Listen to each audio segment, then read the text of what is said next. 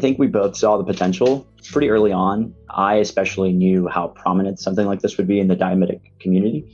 And keto was like really catching on at the time. And so sometimes you just kind of have to take a leap of faith and, you know, jump before you actually know that the ground is uh, not going to hit you on the way down.